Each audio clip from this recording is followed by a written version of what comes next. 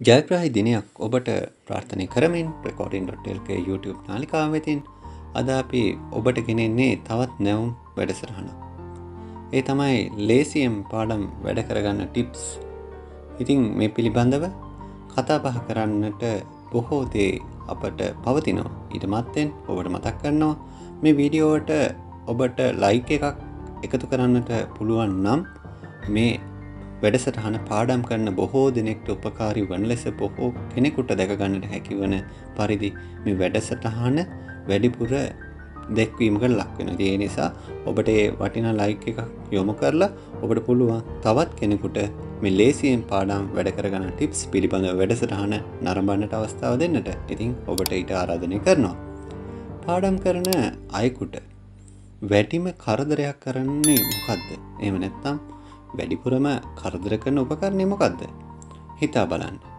ඒ තමයි ඔබට ඔබ භාවිතා කරන ඔබගේ අතේ තියෙන ජංගම දුරකථනය ඉතින් මේක තමයි ඔබගේ පාඩමට එහෙම නැත්තම් මතකයට ගන්නට දන්න උත්සාහයට අභ්‍යාසයට දන්න උත්සාහයට වැඩිම කරදරයක් වැඩිම බාධාවක් කරමින් ඔබගේ අධ්‍යාපන කටයුතු බාධාවට පත් කරන්නේ.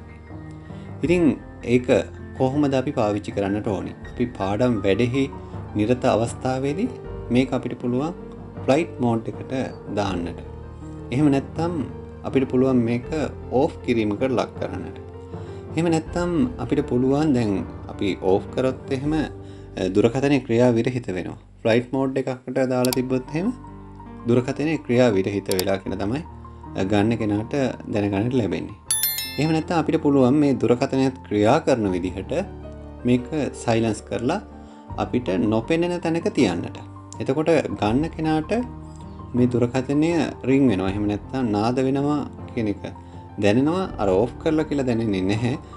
ඉතින් ඔබට අවශ්‍ය එක පාඩම් වැඩෙන් ඔබ අත්මිදන අවස්ථාවක ඔබ නැවත ජංගම දුරකථනය බලලා ඔබට යමතුම නැවත ලබා ගන්නට පුළුවන්. ඉතින් ඒ නිසා ඔබට පුළුව මේ විදි සයිලස් කරලා එක නොපෙනෙන තැනක තබන්නට ඒකෙන් මොකද සිද්ධ වෙන්නේ ඔබට පාඩම් වැඩේට නිසි අවධානය යොමු කරන්න එහෙම නැත්තම් අවධානයෙන් යුතුව පාඩම් අභ්‍යාසවල නිරත වෙන්නට ඒක උපකාරී දෙයක් බවට පත්වෙනවා. ඉතිය නිසා ඔබගේ අධ්‍යාපන වැඩේට වැඩිපුරම බාධා කරන මේ සුවිශේෂී උපකරණය ඔබ විශේෂයෙන්ම පාඩම්වල එහමනැත්තම් අධ්‍යයන කටයුතුළුව නිරත වෙන අවස්ථාවේදී මේ ආකාරයට නිසි ක්‍රමවේදයක් ඔස්සේ පරිහරණය කරන්නට අත්‍යවශ්‍ය දෙයක් බවට පත්වෙනවා. පාඩම් කරන්නට ස්ථානයක් තෝරන්නට ඕනිද. ඕ පාඩම් කරන්නට සුදුසු ස්ථානයක සිට තමයි අභ්‍යාසේ එහමනැත්තම් පාඩම් කාරය නිරත වෙන්නට ඕනි. ස්ථානයේ ගැටලු සහිත වුණොත් ඔබට අභ්‍යාස කරන්නට එහෙම නැත්නම් මතක ශක්තියට ඒ කරුණුට ගොනු කරගන්නට විවිධ බාධාත්මක තත්ත්වයන් ඇති වෙනවා. ඉතින් මෙහිදී වඩාත් සුදුසු ස්ථාන විදියට අපිට කල්පනා කරන්න පුළුවන් එහෙම නැත්නම් අපේ ගෙදර පහසුවෙන් යොදා ගන්න පුළුවන් එලිමහන් ප්‍රදේශයක්. එහෙම නැත්නම් නිශ්ශබ්දතාවය රැකෙන ස්ථානයක් විදිහට අපි නිරන්තරයෙන්ම සලකන පුස්තකාලයක්. මේ වගේ ස්ථානයක් අපිට යොදා ගන්න පුළුවන්. එහෙම නැත්නම් නිවාසයේ තියෙන නිශ්ශබ්ද සහිත වූ ස්ථානයක්. ඒ පාඩම් කරන කාර්යයට එහම නැත්තම් පාඩම් කරන කටයුත්තට ඔන්න ඔබට පාවිච්චි කරන්න පුළුවන්. විවිධ උපකාරක පන්ති ඔස්සේ. ඔබට ලැබෙනවා ටියුට්ස් එම නැත්තම් මේ අත්පත්‍රිකා එම නැත්තම් අභ්‍යාස පත්‍රිකා. ඉරි මේ වගේ පත්‍රිකා ඔබට ලැබෙනකොට මේවා ඔබ විසින් වෙන්වෙන් වශයෙන් ගොනු ගත කරන එක ඉතාමත්ම වැදගත්තය කියන්නේ ඊට ෆයිල් එකක් පාවිච්චි කරලා ඔබට පුළුවන් මේවා වෙන්වෙන් වශයෙන් එහෙම නැත්තම් විෂයන් වශයෙන් එහෙම නැත්තම් මේ වගේ අභ්‍යාස ස්වභාවයන් වශයෙන් එහෙම නැත්තම් භාෂාත්මක වශයෙන් ඔබට පුළුවන් ඒ සුදුසු වෙන් කිරීමකට වෙන් කරන නිර්ණායකයන් ඔස්සේ ඔබ ඒවා වෙන්වෙන්න හැකි තරම් වෙන්වෙන් කරමින් ෆයිල් ගත කිරීම ගොුණු ගත කිරීම ඉතාමත්ම වැදගත් දෙයක් බවට පත්වෙනවා. ඉතින් මේක විභාග කාලයට ඔබට නිශ්චිතවම ඒ කොටස කුමක්ද ඒ කොටසේ අන්තර්ගතය කෙසේද? ඒ ප්‍රශ්නයකට උත්තරයක් සපයන අවස්ථාවක දින ඒ ප්‍රශ්නයට උත්තරය සපයන සර්ව සම්පූර්ණ උත්තරකට යනකොට කොයි කොටසේ කොයි දේද අවශ්‍ය වෙන්නේ කියලා ඔබට ඒ ෆයිල් කරගෙන ඒ කොටස පෙරලලා ඔබට පහසුවෙන් නිරීක්ෂණය කරල ඒ අභ්‍යාසයකට පිළිතුරකට ඔබට ගොුණු කරගන්නට ඒම පහසුවක් වෙන ඒ නිසා ඔබට ලැබෙන මේ අත්පත්‍රිකා පිළිබඳව විශේෂයෙන් අවධානය යොමු කරලා කටයුතු කරනවාන ඔබට අධ්‍යාපන කාරයේදී විභාගයට එය ඉතාමත්ම පහසු දෙයක් එම නැත්තම් උපකාරී දෙයක් බවට පත්වෙනවා. ඉළඟට ඔබ විශේෂයෙන්ම විභාගයට සූදානම් වන අයකු විදියට හයිලයිටස් පාවිච්චි කරනවා. ඉතින් හයිලයිටස් පාවිච්චි කරනකොට ඔබට පුළුවන් එක වර්ණයකට එක අර්ථයක් කෙන විදිට පාවිච්චි කරන්නට. ඉතින් එහෙම උනොත් එහෙම මතකය එත් එක්කම හඳුනා ගැනීම ඔබට වර්ණය තුළින් හඳුනා ගැනීම ඉතාමත්ම පහසුවෙන දැන් අපි උදාහරණයක් විදිර කියනවන මාතෘකාවලට පාවිච්චි කරනවන යම් කිසි වර්ණයක්. අන්නේ වර්ණය එකම විදිහකට තියෙනවා. දැන් සියලුම මාතෘකාවලට එකම වර්ණයක් පාවිච්චි අපි උදාහරණයකද කොළපාට කියන්න කොළපාට පාවිච්චි කරන මාතෘකාවට.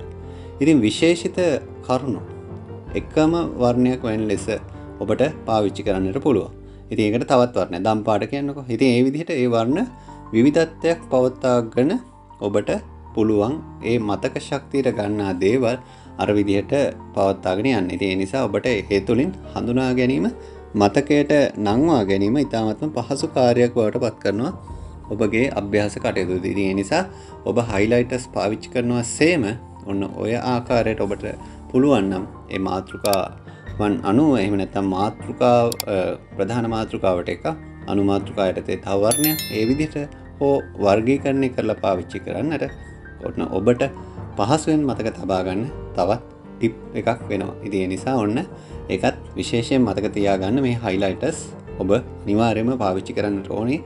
විභාග අභ්‍යාස වල නිරත වෙන අයකු ලෙස.